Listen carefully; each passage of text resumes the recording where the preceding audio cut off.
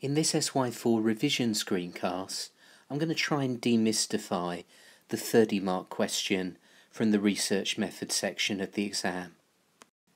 So hopefully you'll be familiar now with the layout of the research method section of SY4. So we've got the item, we've got the 10 mark question, and then we've got the focus of this screencast, which is this longer 30 mark question. And when you're reading through the 30 mark question, there are certain bits of information that you need to scan the question for. So firstly, you need to know what type of data you need to collect. And in this case, we can see that it clearly says that we've got to collect qualitative data. So the question will either say that you've got to collect quantitative data or, as we can see in this example, it will be qualitative data. It will be one or the other. The second thing that you need to scan the question for uh, is the purpose of the research. So in this case we can see that the purpose of the research is to look at attitudes to parenting. So that's the topic of the research. And then finally, the other thing that you need to scan the question for is the target population. In other words, the group that you're doing the research on. So in this case, it's a sample of parents. And remember that the wording of the rest of the question is standardised, it won't change. So it always starts with the instruction as an A-level sociology student, you've been asked to design a research project, and then these bullet points are always worded in exactly the same way. Now, in order to answer this question fully, you need to think about your research design as consisting of these seven different parts. You need to say what you're going to do, you need to say why, that's the justification, and your justification, wherever possible, should be linked to the methodological issues known as Grover. Grover, remember, stands for generalizability, representativeness, objectivity, validity, ethics, and reliability. So, wherever possible, uh, your justification needs to link to one of those issues. Also, you need to talk about the problems. Now, you haven't got the time to talk about the problems of every part of your research design, but you do need to discuss uh, in full the problems with the research method that you are going to use and also the problems with the sampling technique that you're going to use and once again, wherever possible, the problems that you identify need to be linked to some aspect of Grover. And in the rest of the screencast, I'm going to talk through uh, each of these different sections of your research design. So when sociologists are doing research, they always need to define, and in the case of quantitative research, measure the key concepts, the key ideas that they're using in their research. And this process of defining our key terms, and in the case of quantitative research, working out how we're going to measure them, is known as operationalizing our key terms. And this is the first thing that you need to discuss uh, for the 30 part question. So, for example, let's imagine that we wanted to do research quantitative research measuring the extent of poverty. The first thing that we would need to have a think about is how we can define poverty. We would need to establish a clear definition of this particular uh, theoretical idea. Then if we're doing quantitative research, we then need to work out what indicators we would use that would enable us to directly measure this concept of poverty. So, for example, I might look at the indicator of income, that might be uh, a useful way of measuring poverty, and I could specify that for the purpose of my research, anybody with an annual income of less than £10,000 a, a year uh, is living in poverty. So, an indicator is something that allows me to directly measure uh, a key concept, uh, in this case, uh, income is an indicator that enables me to directly measure the concept of poverty. I'll give you a couple of other examples. If I wanted to measure the concept of educational achievement, then obviously a key indicator of educational achievement, something that I could use to directly measure that particular concept, would be looking at examination results. If I was interested in the concept of social class, one way in which I could directly measure that concept would be to look at the jobs that people do. Now, one of the most common types of 30 mark questions would be a question where you're asked to look at people's social attitudes towards a particular topic. And in the case of quantitative research, where you're trying to measure people's attitudes, the way in which you could operationalize that would be to use questions that are scaled. So here we can see an example of a question about people's attitudes towards one particular part of the NHS, accident and emergency departments, and these are the scales that people are asked to use when they answer this particular question. And this five part scale from very satisfied to very dissatisfied is known as a Likert scale.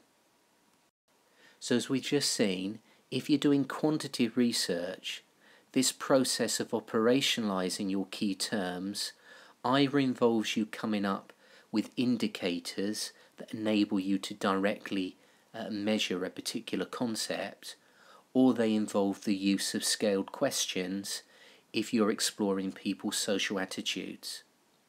If, on the other hand, you're doing qualitative research, then deliberately you're going to be much vaguer about your key concepts when you start your research.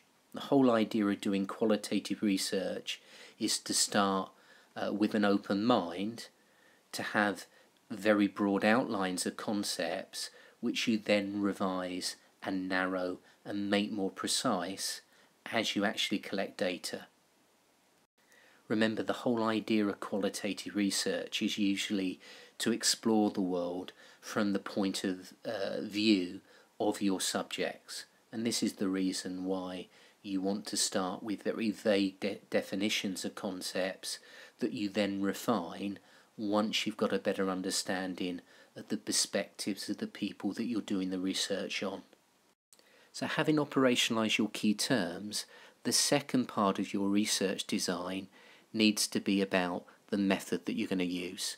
And you only need to use one particular method. You haven't got the time to talk about uh, a mixed method approach of triangulation. And you need to think about the type of data that you've got to collect. If it's quantitative data, then my suggestion for your method would either be questionnaires or structured interviews. If it's qualitative data, then my suggestion would be to consider either unstructured interviews or participant observation. And remember, for this part of your answer, you've got to say why you've chosen a particular method, link that to Grover, but you also need to discuss the potential problems with your research method and the impact that those problems would have on some aspect of Grover. Now, the key to doing this well in the exam is to relate your justification of the method that you've chosen as closely as you possibly can uh, to the particular topic and research population that they've given you uh, in the question. And if we have a look at Amy's answer, we can see a really good example uh, of this. So if you just hit the pause button and have a read through this particular paragraph. And what's really good about this paragraph is it's displaying good knowledge of unstructured interviews, but it's really relating that knowledge closely to the design brief. So for example, um, we've got here this section that this method also allows me to be flexible with what questions to ask. So that's a key advantage of using unstructured interviews, their flexibility. And then that's really related to the actual topic in the question. So depending on their answers or even the family type that they're a part of, So there are lots of different types of families, single parent, same sex, uh, reconstituted, which means a step family. So I really like this. This is about looking at the strength of unstructured interviews, its flexibility, but really relating it closely to the actual topic. And the most common criticism made in the examiner's reports of students uh, doing the 30 mark question is that they don't relate their knowledge of methods to the specific topic and research population. In other words, they just rehearse very generic research designs that they've memorized before they get into the exam.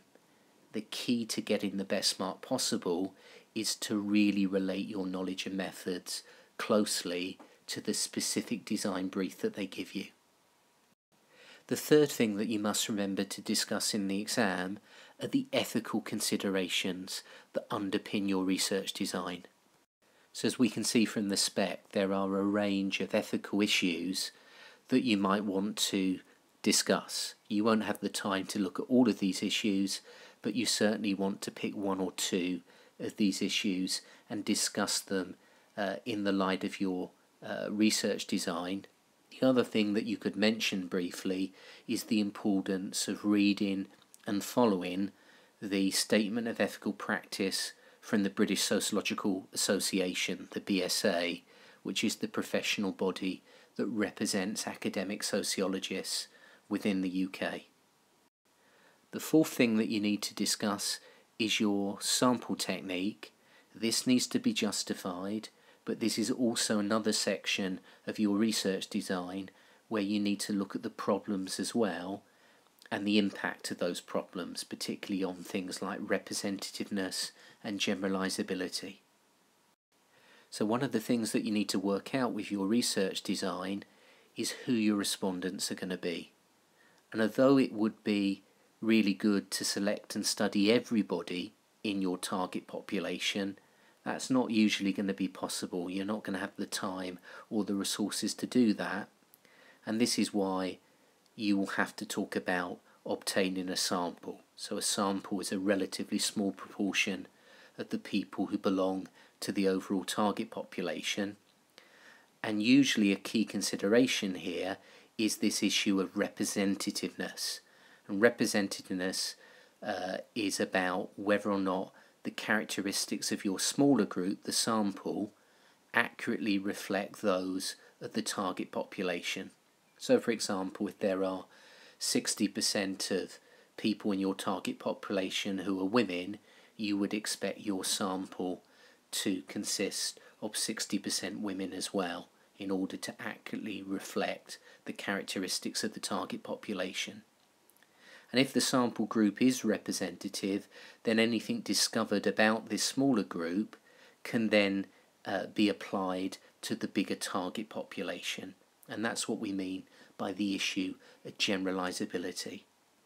Now, examiners are often very critical of students' lack of knowledge of sampling techniques, so this is another area that is consistently highlighted as a weakness in student responses. So make sure that you thoroughly revised uh, the two screencasts on sampling techniques.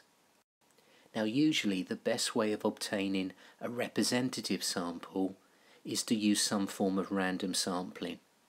But in order to do random sampling, you must have access to a sample frame.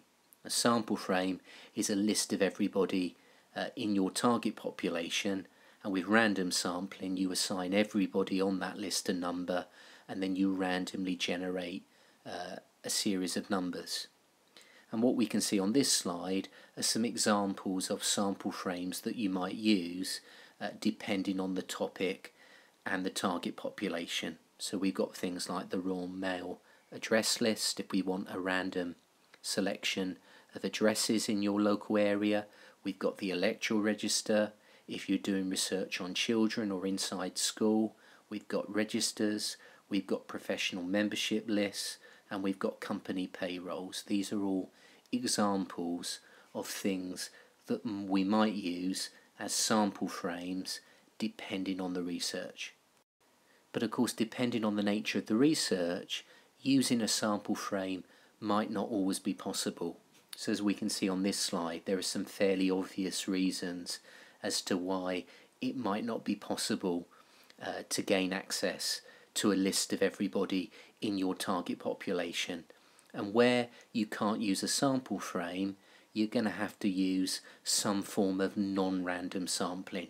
You're going to have to consider the use of things like opportunity sampling and quota sampling or snowball sampling or volunteer sampling as an alternative to using a random technique. The fifth thing to briefly discuss in your research design is the importance of doing a pilot study. And a pilot study is a mini version of the full-scale study that you're going to do. So the purpose of this is obviously to test and tweak the research instruments that you're going to be using during your research. So for example, if you're doing questionnaires or interviews, a pilot study might involve you uh, trialing questions to eliminate possible sources of bias, looking at things like the use of leading questions, checking that people understand your questions, and maybe collecting some preliminary data that might allow you to ask questions on other topics that you've not considered. The sixth thing to discuss, but very briefly, is how you're actually going to do the research, the practicalities of your research. So, if you're doing questionnaires, how they're going to be distributed. If you're doing interviews, where are those interviews going to take place? How are they going to be recorded? And so on. And then the final section of your answer, you need a brief section on the analysis and interpretation of your results. So data can never speak for itself. The information that you collect using your research method always has to be analysed and interpreted. And the analysis of your data um, is about categorising your data, bringing together your information, putting it into what you think are appropriate groups and categories. And this is a process that is known as coding your data. An interpretation uh, involves the researcher asking what the data and the overall research means. What is the significance of the data uh, that they've collected? Remember that there are lots of uh, resources to help you on learn for this section of the exam, including all the past exam papers and also lots of model uh, answers to 30 mark questions so that you can really see what's involved uh, in answering this section of the exam.